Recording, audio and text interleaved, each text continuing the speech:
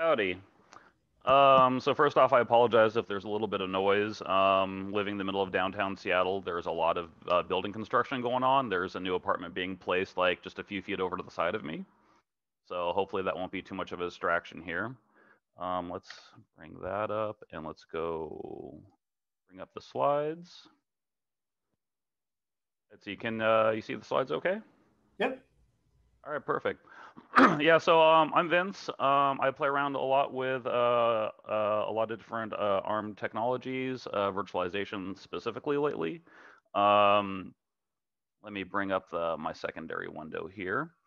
Uh, yeah, so um, you can find me on you know Twitter at you know DarkainMX. Um, I've been a very active user in our Discord uh, pretty much since the day it was started. So you'll just see me listed under my name as Vince with the Darkain parentheses. So there's you know the disambiguous.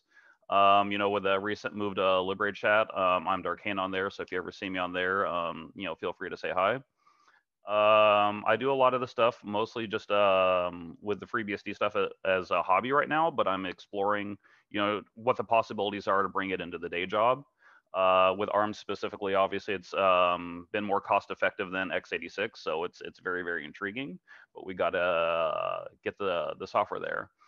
Um, I may use the terms ARM64 and AArch64 interchangeably. Um, uh, part of that is because ARM64 can um, just at a glance look like AMD64 and cause some confusion and AArch64 stands for ARM architecture 64-bit.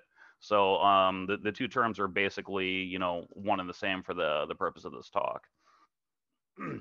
so at a quick high level, uh, virtualization is basically you take your computer and you cut up the resources on it. And uh, it allows you to install more than one operating system on a single physical piece of hardware.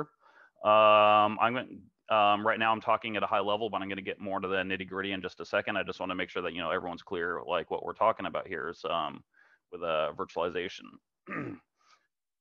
uh, I also want to talk a uh, quick brief history on virtualization, just to show like how long this has been around and how quickly it's now accelerating all of a sudden, because it's been kind of stagnant for a while. Now all of a sudden in the past few years, it's it's really kind of blown up into this really uh, cool new uh, stuff uh, for it. Um, what we currently know of as virtualization pretty much came onto the market with VMware Workstation for um, 386 systems back in 1999. Um, some of these dates may be a little bit fuzzy based on what you know news sources I can pull from, but they're they're going to be close enough to to accurate. Um, as some of the dates may have been for you know uh, you know beta versions or versus production versions, whatnot. Uh, in 2004, uh, VMware um, introduced their 64-bit uh, line of products. So that was their workstation, their server products. You know, the they had a whole slew of them. Um, around uh, 2014, FreeBSD introduced the bhyve hypervisor for uh, AMD 64, which is um, you know really cool and interesting. Uh, but dealing with the ARM architecture stuff, the first real big hypervisor to hit the market was AWS with Graviton uh, around 2018. And so that that's been um, like a good cost saving feature for those of us uh, working with uh, you know cloud native um, you know deployments and you know uh, with uh, Amazon. but today I'm primarily going to be talking about uh, the two most recent releases, which is VMware ESXi ARM Fling, which was released in October, and then Parallels Desktop for the uh, the new Apple M1 chips, which was released just shy of two months ago. So very very recent stuff, and then trying to get FreeBSD to run on both of those, and basically what the uh, the experience has been with uh, both of those. Continuing a bit with the history though, uh, VM at VMworld uh, 2019, uh, they gave a, uh, some demos of their hypervisor running on a Raspberry Pi and they didn't really have too much to show for it at the time. They showed this is basically what the, the local console looks like. There's not a whole lot you can do from a local console with uh, VMware. Most of it is designed to be web-based instead. So the, this was just showing like, hey, you know, we can boot up at least to this stage, but um, it was. I don't think they had too much of the actual virtualization working yet. But with a full year of development since then, they have since um, released the uh, the uh, ESXi ARM Fling, And this is their blog post on October 6th, uh, doing the official announcement of the release. And they go on uh, to explain the difference between uh, what ARM processors are versus x86 and AMD 64 processors. And they also go on to explain what their term fling actually means, because flings for uh, VMware are not official products. They're more of uh, technical previews where they release um, like early builds to the community to get feedback. And uh, their feedback system has been uh, very, very nice, honestly. They've had they have forums, they have um, you know bug trackers and whatnot, and uh, even some of the developers have just been very active on Twitter and other social media platforms. And uh, every single place that I've uh, reached out to them, I have gotten really good, solid replies. Um, they've even helped a bit with uh, providing some of the technical notes about what I'm about to get into. They've been providing um, patches and bug fixes, both in their hypervisor as well as for FreeBSD itself, to make sure that everything is nice and cohesive. Uh, Parallels Desktop is um, rather than a server-oriented uh, hypervisor, it is a desktop-oriented hypervisor specifically for the Mac OS. And uh, uh, in mid-April, they released the hypervisor for the uh, the Mac M1 processors, so the, the new ARM processors from Apple. And so the difference between here and VMware is that for Parallels, it is not a beta or a trial. This is a full released product at this point. so it should have the the notion of the the quality and standards that go along with that. Uh, so software is useless without hardware. So for all of these tests that, that I've been running, um, there's a, a series of hardware that I've been playing with. Uh, the Raspberry Pi 4 is was one of the primary targets for ESXi ARM Fling because they wanted to get it into hands of you know hobbyists and consumers as quickly and easily as possible. And this is by far and away the easiest board um, ARM system to get your hands on. Uh, for uh, these tests, um, I've installed ESXi ARM Fling on it, and I've also installed a FreeBSD on bare metal. Both of them run, you know, relatively well. There's a few gotchas here and there, which I'll get into. Uh, for ARM Fling specifically, it requires either the 4 gig or the 8 gig model due to the amount of RAM that the hypervisor takes. Hypervisor takes a, uh, just a little over 1 gig of RAM, but they didn't want to have that on a 2 gig board because that would just leave you with maybe half a gig left for like a single virtual machine, which really isn't that great of an experience. Uh, other ARM boards do work, like the, um, the RK3399, I believe that's the right number, with at least 4 gigs of RAM. And there's a whole slew of other boards that they support too. That's just one that I know off the, the top of my head. And I believe we have it working on the um, the Pi 400 now as well, which is the basically a Raspberry Pi 4 integrated into a keyboard. Uh, this is my personal, uh, what I call the Pi rack. So I have a cluster of 12 different Pis here uh, doing all different tasks. Most of them are Raspberry Pi 4s running uh, ESXi ARM Fling. And then I have a few other pies here that are running uh, either bare metal or um, usually bare metal FreeBSD of uh, different versions to do uh, various levels of regression testing and um, uh, with uh, some of the ports that I, I'm involved with. um, see here. Uh, the bigger board that I play with is the SolidRun Honeycomb LX2. Uh, again, this is running either ESXi ARM Fling uh, on it or running FreeBSD uh, bare metal. And this board is really interesting because the amount of different hardware that it has on it. So we have a 16 core processor sitting right here, which is, you know, a fairly respectable amount of uh, compute power. Uh, it uses a pair of uh, SODIMM slots, so the same RAM that you get from a laptop. And uh, what I'm using personally is RAM that I pulled out of a laptop when I upgraded a laptop last year. Uh, uh, it's an ITX form factor, so it'll work in normal uh, computer cases, ITX or ATX cases usually. Uh, it uses a normal ATX 24-pin power adapter. Uh, it has four SATA ports, so standard storage, storage you'd think of. Um, uh, an eight-lane PCI Express slot. There is a four-lane M.2 for NVMe and in my case, I have that populated with a um, a 16 gig uh, Intel Optane drive, and for the SATA ports, I have a pair of uh, five terabyte uh, hard drives attached to it that are running a ZFS mirror for my uh, bare metal FreeBSD. Uh, there is a one gig NIC and a and four 10 gig NICs. However, there's no drivers available for that yet. We're still waiting for the uh, the vendor to provide technical specs on those. Um, so whether it's FreeBSD or ESXi, and I don't think Linux, neither of those have the drivers, and I don't think Linux has the drivers yet either. It's still this is still pretty much a, considered a development board, not really ready for uh, production networking uh, usage. So a lot of my networking, I'm using the PCI Express slot with uh, my own network cards, which having that slot means that I have that capability. and of course, because I like to uh, bling things out here as my personal, uh, you know, uh, honeycomb system uh, sitting inside of uh, a case with lots of uh, really pretty uh, RGB LEDs to keep it nice and cool, even though it doesn't need that level of cooling. But as you can see here in the PCI Express slot down at the bottom, uh, I have a dual uh, 10 gig NIC. It's an Emulex OCE. I forget the exact number, but it's it's it's the OCE NIC, which is nice to know that drivers that were written for AMD 64 are working effortlessly with uh, with ARM at this point.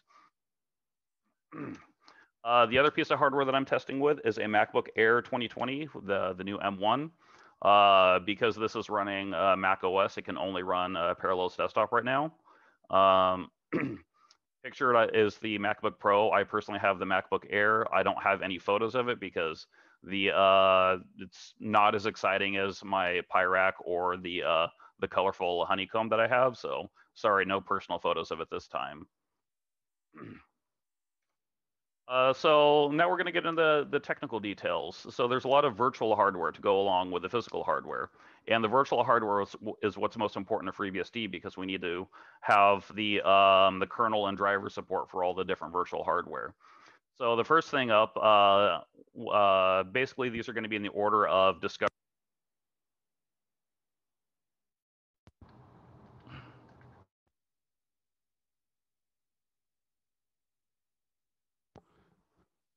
Can you still hear me there? My headset just died. Yep, we can hear you. Okay, yeah, my, my, my headset died there. All right, it's a wireless headset. Sorry about that. Um, so yeah, these are going to be in the order of basically discovery of after installing FreeBSD, what order uh, did we discover these different issues in?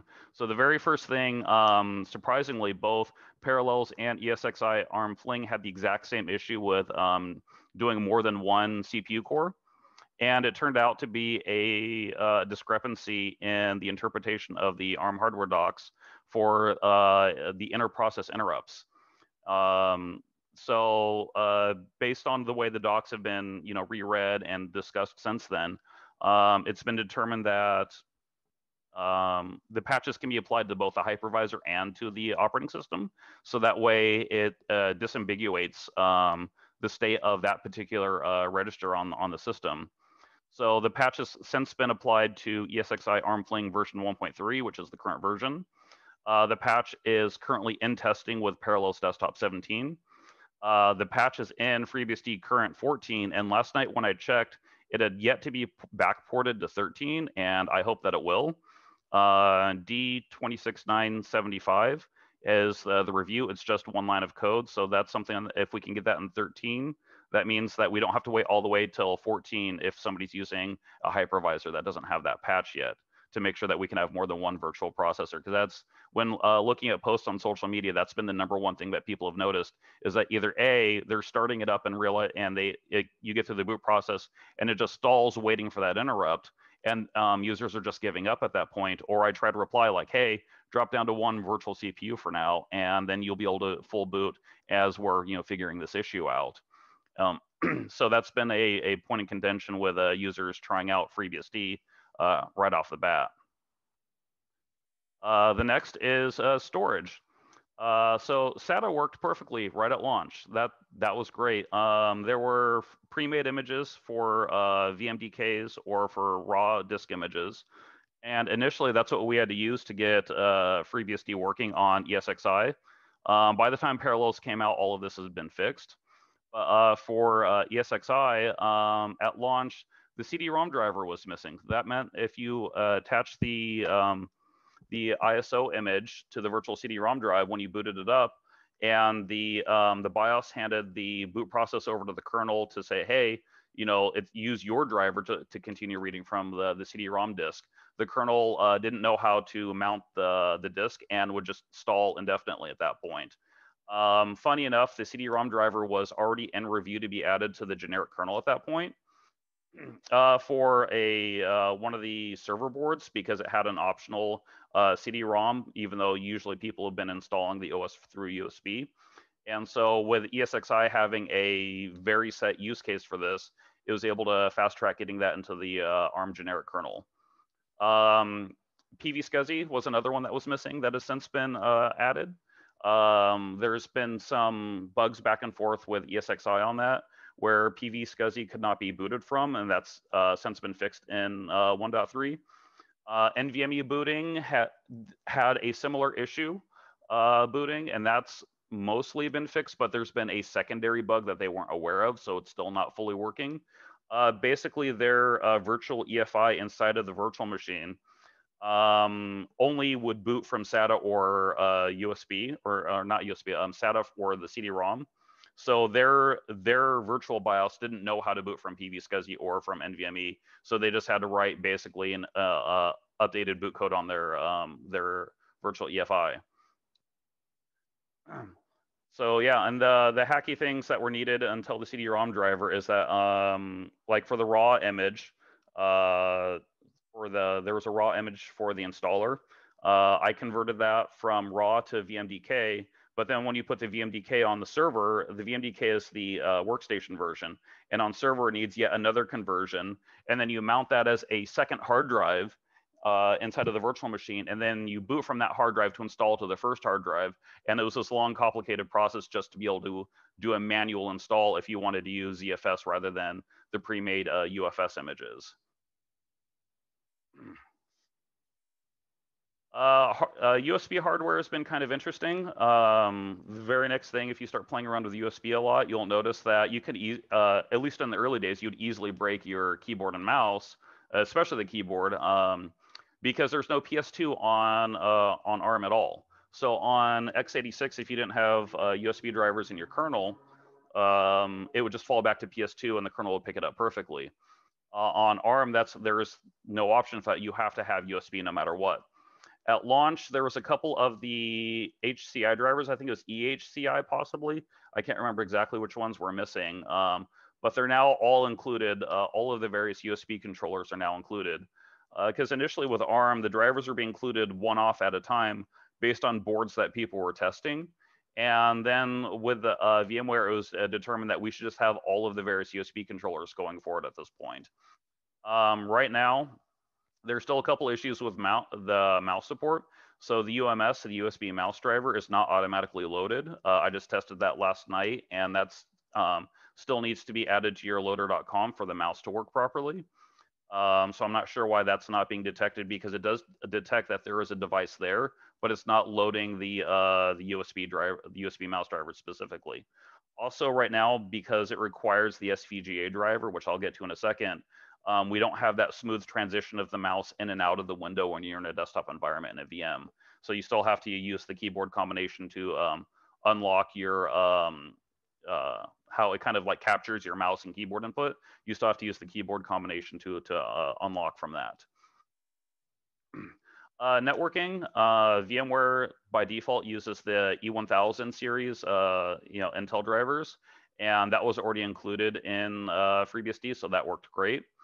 Uh, there was the VMXNet driver, which for good reason was not included initially with uh, the ARM um, generic kernel. That's because there was no VMware hypervisor until like th this one launched, right? And so just simply adding it, it worked perfectly with no modification whatsoever. That was a really easy fix. Uh, for Parallels Desktop, it uses the VirtIO uh, VTNet driver, and that just worked perfectly with no modification at all. So we had great networking there um, right on day one. Uh, audio has been kind of a little interesting thing because I never even thought to test it because I've mostly been dealing with uh, server stuff. I haven't really touched too much of the uh, the, the, desktop space of things. Um, but I went back and retested this just to, to validate this. Right now, there's no real audio support on ESXi ARM Fling.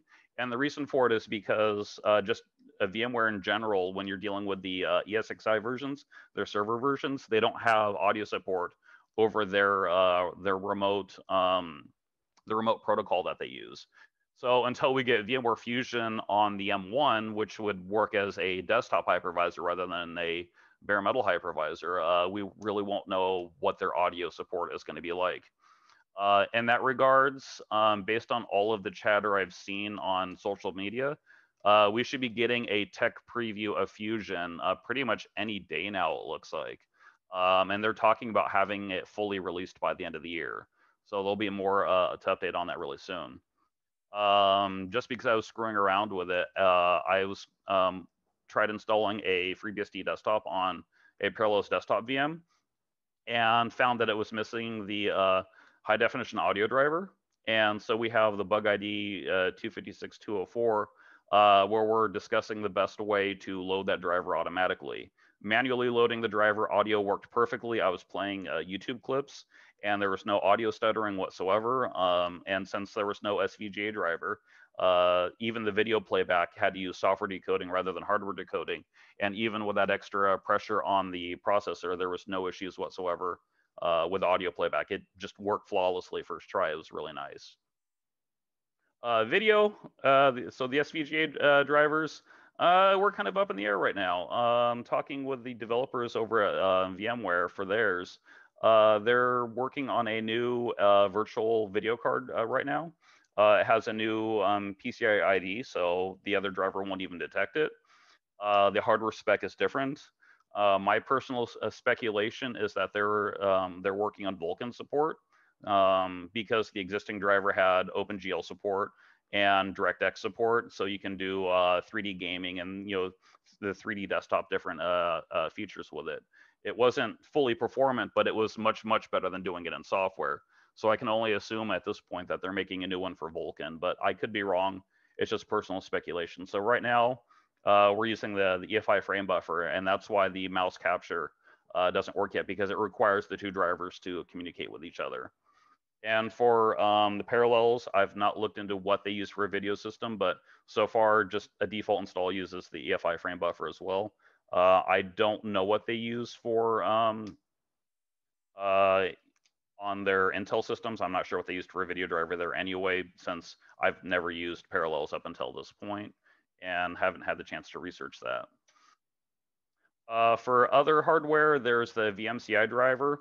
Uh, it's virtual machine communication interface, I think is what that stands for. It's so two VMs have a high performance interface for communicating back and forth. So something faster than going through the virtual network stack. And right now it contains a bunch of x86 assembly, and I'm not sure if that's even supported on ESXi ARM Fling yet. Um, I haven't tested it. I haven't looked into the, the assembly code or doing any rewriting of that. Uh, I don't even know any software that uses the VMCI interface.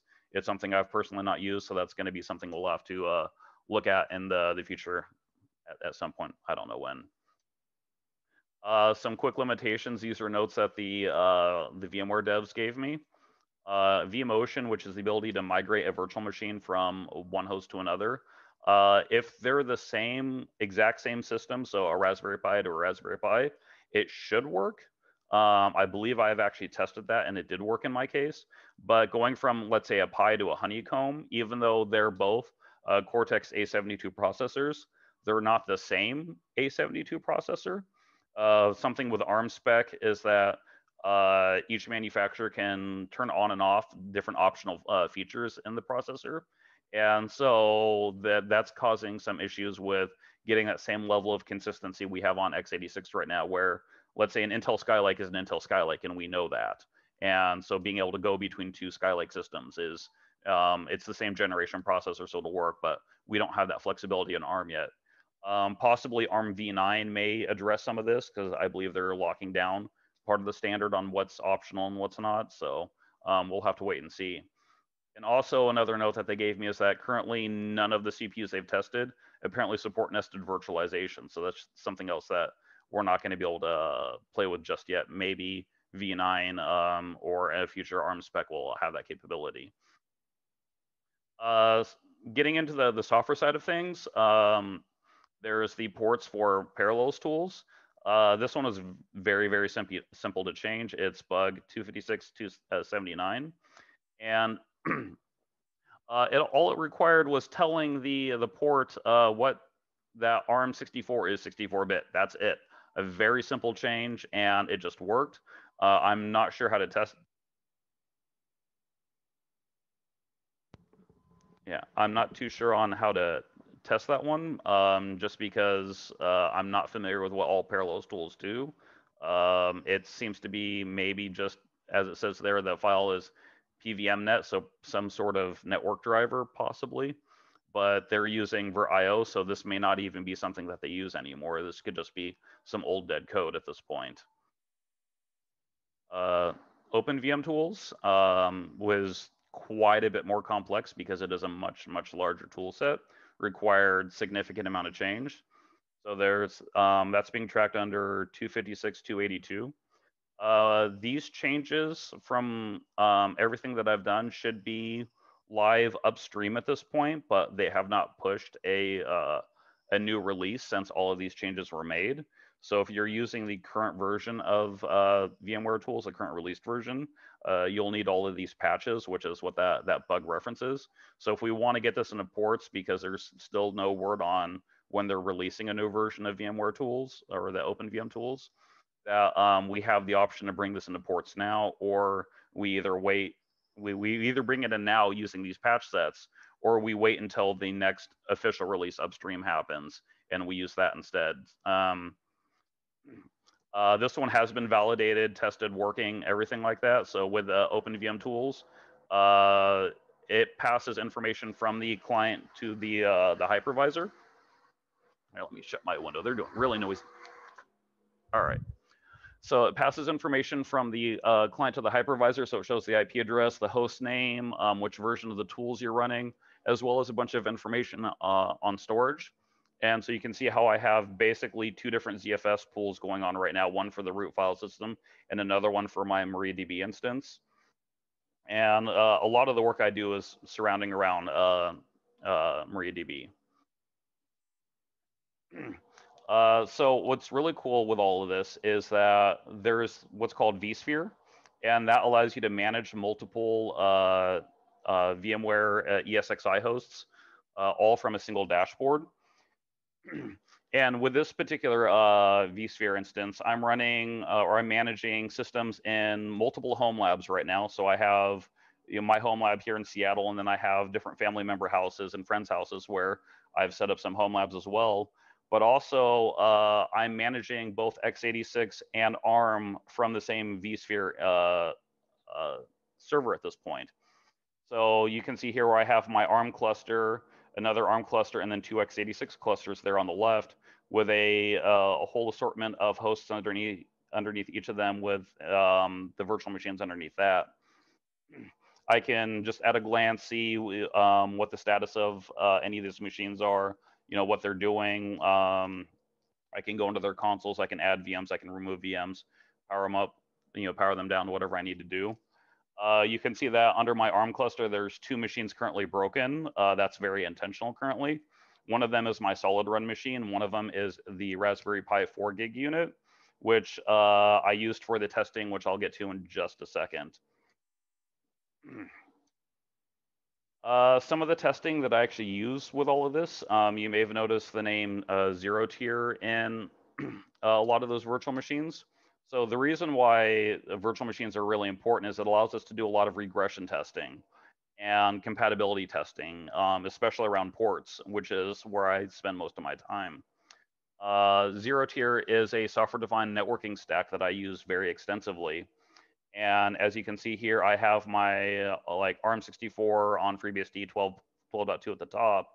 Um, there's ARM v6, ARM v7, um, I have some i386, um, and all of these machines are all sharing one software-defined network regardless of their architecture, which is really, really nice.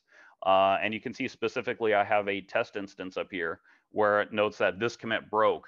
Uh, I was trying to figure out exactly where a particular patch in um, ZeroTier upstream broke only on FreeBSD ARM.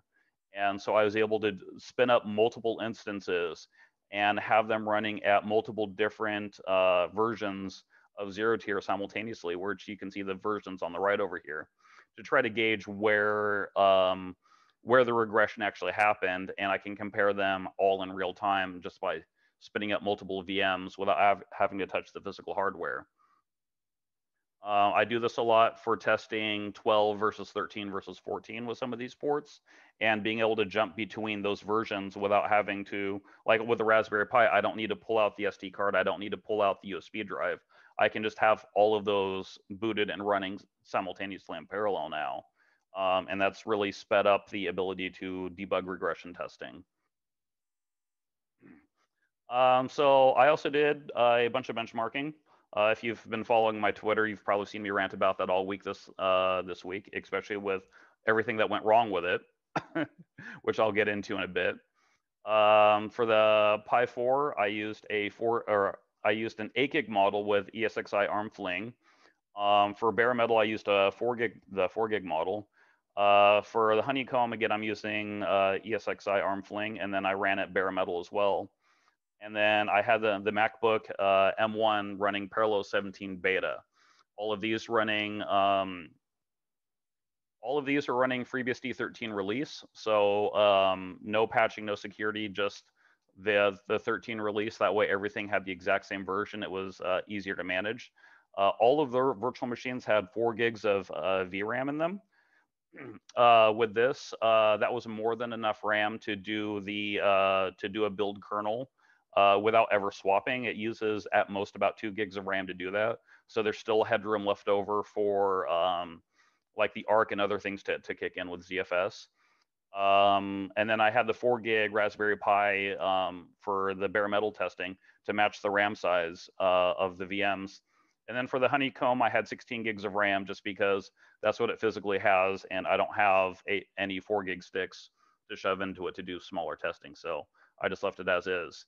Uh, for ZFS, um, this is usually just what I use for uh, my build environments because how easily they are to reproduce. So I turn off uh, sync.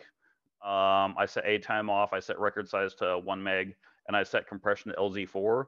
That way I can focus on just the compute aspect of things.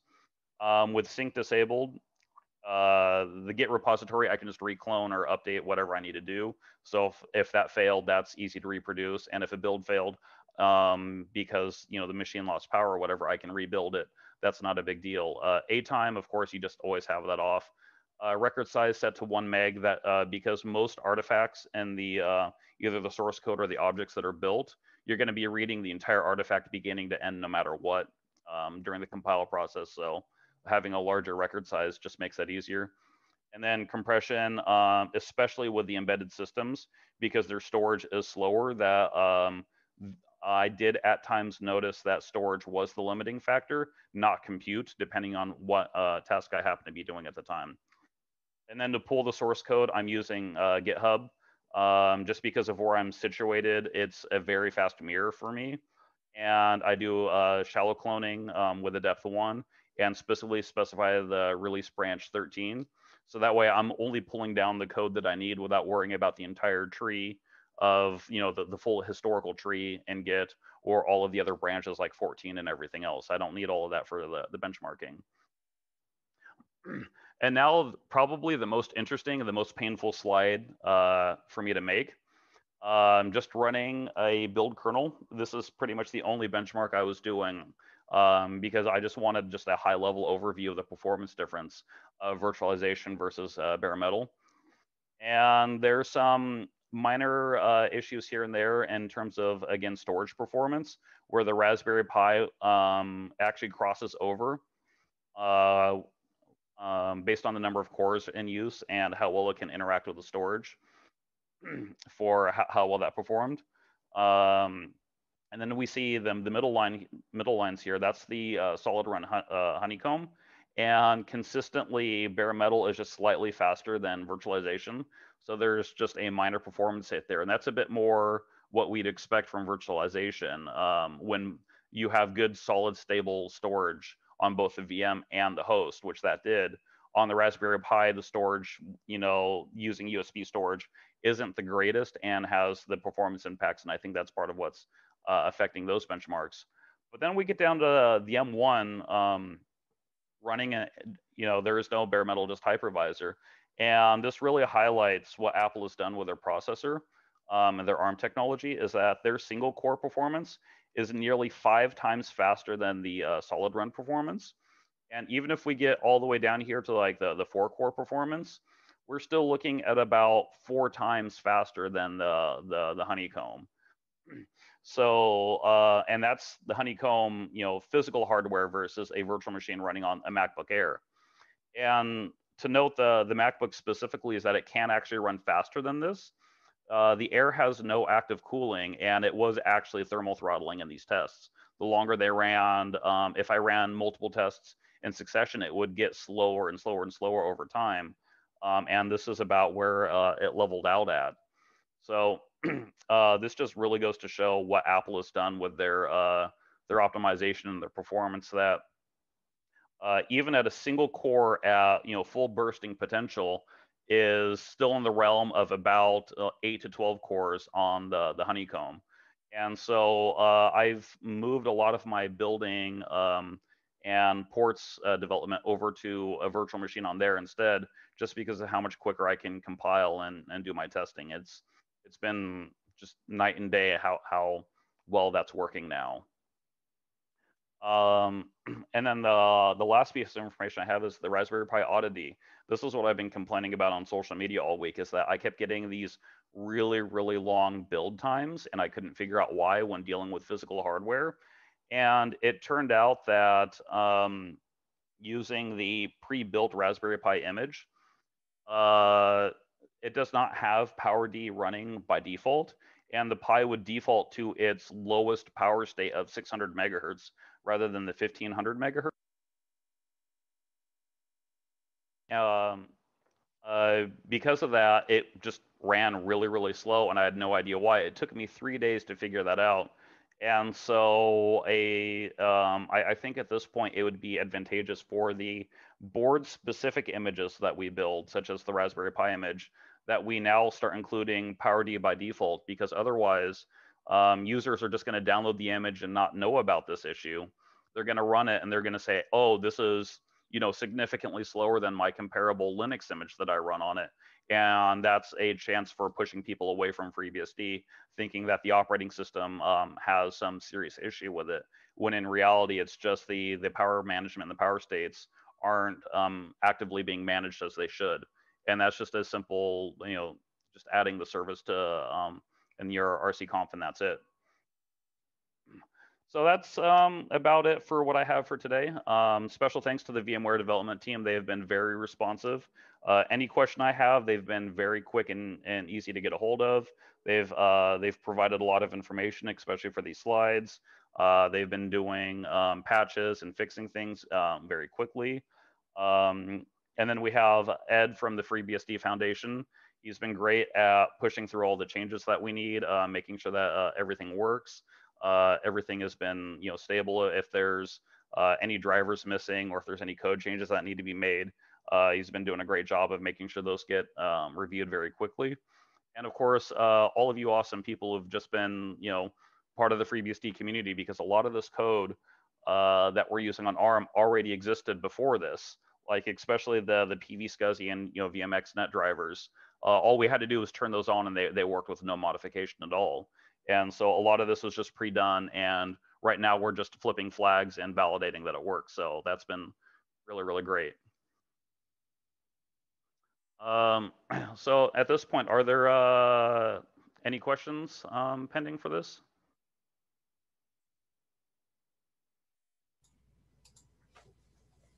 I don't think I saw any on IRC. Um, I think we also probably schedule wise, it'd be good if we go ahead and take a break. But thank you very much for your talk. Uh, that's really neat stuff. Glad to see virtualization working with ARM64 on FreeBSD. Uh, so let's go ahead and take about a 10 minute break. When we come back, we'll have Matt Ahrens talking about RAID Z expansion. Thanks again, Vincent. Thank you.